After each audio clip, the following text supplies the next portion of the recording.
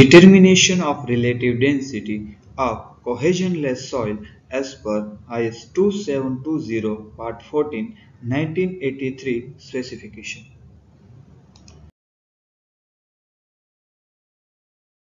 Contents of this video Part 1 Theory Part 2 Field application of relative density Part 3 Laboratory test Part 4 Determination of relative density with calculation. Part 1 Theory What is relative density? The term relative density is commonly used to indicate the in situ denseness or looseness of cohesionless soil. It is defined as ratio of the difference between the void ratio of a cohesionless soil in the loosest state and any given void ratio to the difference between its void ratio in the loosest state and in the densest state. Mathematically, relative density expressed in terms of void ratio as well as in density.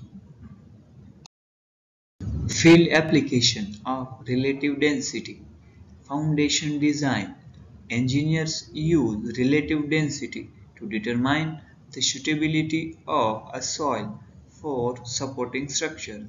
High relative density indicates better compaction and load-bearing capacity.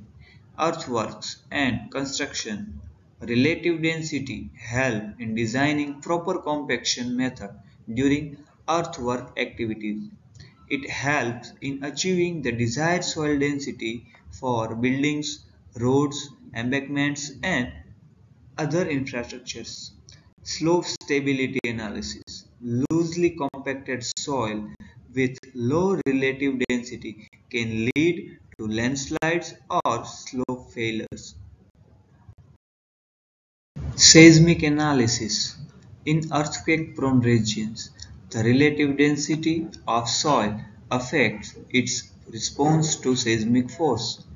Soil with higher relative density generally provide better resistance to liquefaction during earthquake. Retaining walls and earth structure. Relative density help access the stability of retaining wall and other earth structure. Proper compacted soil reduce the risk of settlement and structural failure. Road and pavement design.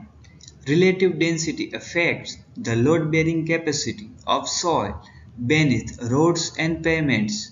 It helps engineer design resilient roadway that can withstand traffic load drainage and permeability. Relative density influence soil porosity which affects water flow and drainage. Proper compacted soil with optimal water movement reduce sink the risk of erosion and flooding. Correlation of relative density with soil types.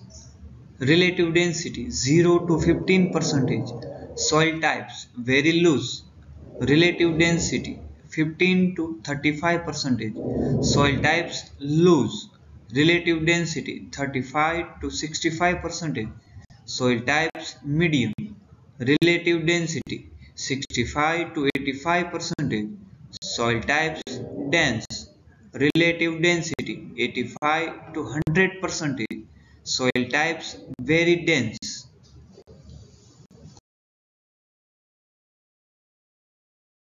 Part 3 Laboratory Test Apparatus required for the vibration table test. First, vibration table, a steel table about 75 cm by 75 cm. The vibrator net mass over 45 kg. Vibrator frequency about 3600 vibration per minute. Amplitude variation between 0.05 and 0.65 mm. Power supply 3 phase system.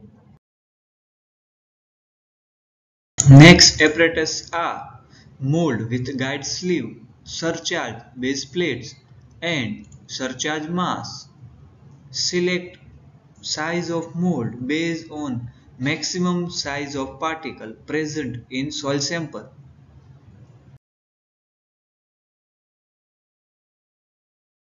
Other apparatus required are dial gauge with dial gauge holder, pouring device, weighting balance, a micrometer, metal straightedge, and other trimming device. Calibration of mold. The volume of the mold should be determined by direct measurement or by using filling with water.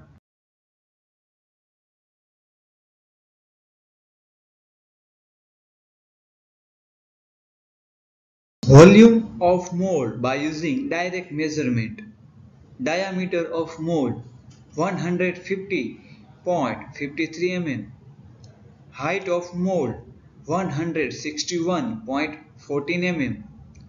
Volume of the mold 2866.5 centimeter cube.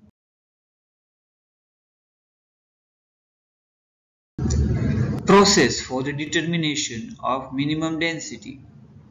Oven dry soil should be used.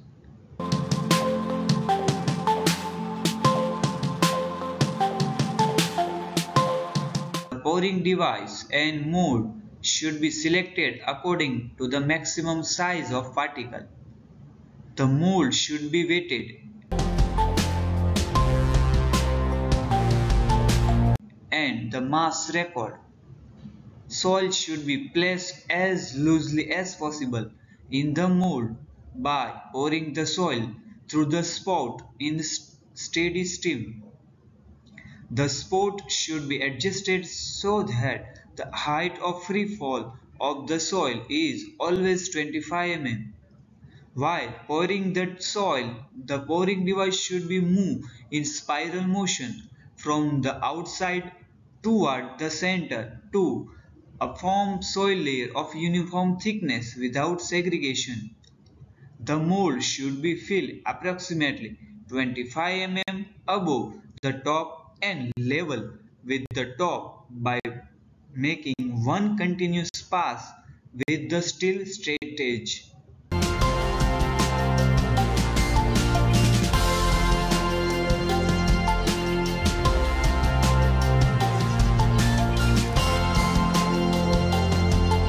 Process for the determination of maximum density.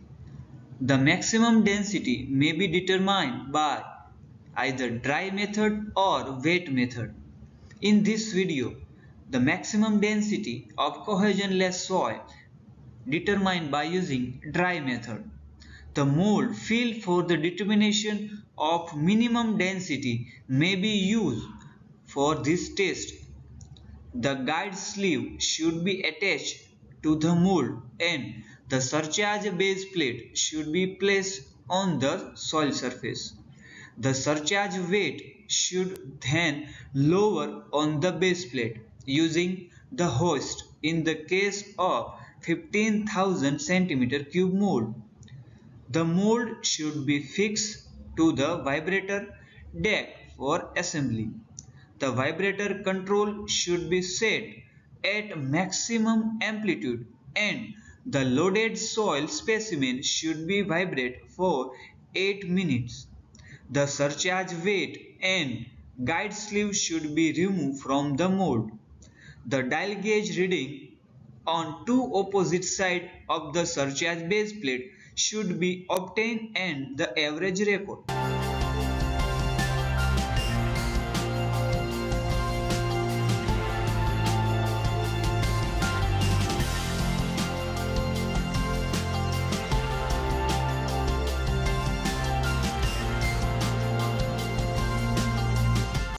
The mold with the soil should be weighed and it mass record. Part 4 Calculation of relative density. Calculation Step 1 Determination of minimum density of cohesion-less soil.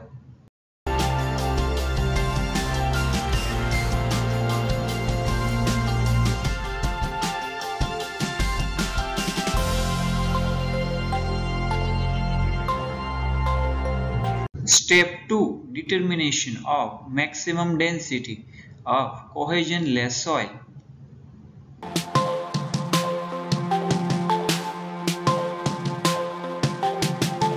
Calculation of relative density. The first determine the density of soil in place by using IS 2720 part 28. Now the density index or relative density calculated as percentage below equation and the final relative density of cohesion-less soil is 69.30 percentage.